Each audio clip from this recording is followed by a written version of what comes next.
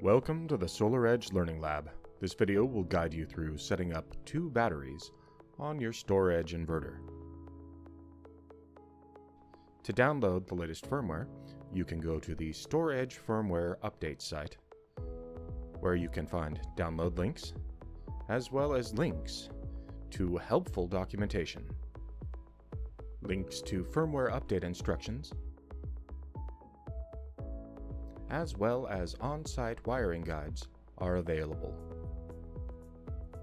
To begin, make sure the system is de-energized by turning the on-off switch to the off position, turn off the DC safety switch and let the DC voltage bleed down below 50 prior to turning off the AC disconnect. Once the system is open, insert your micro SD card. Once the AC is turned back on, the inverter will automatically look for firmware on your micro SD card. Enter the menus via the 4-button interface Long hold on enter. Password is 123 12312. Scroll down to communication and then scroll down to RS451 config.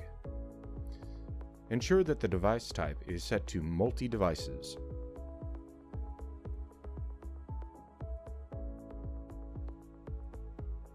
Use the down arrow to scroll down to battery 1.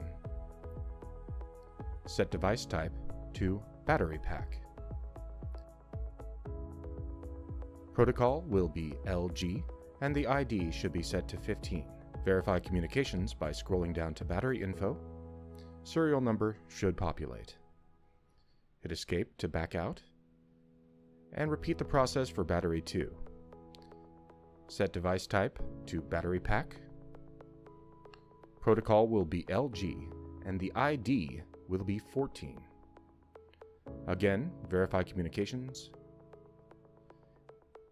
and then exit the menus using the escape button.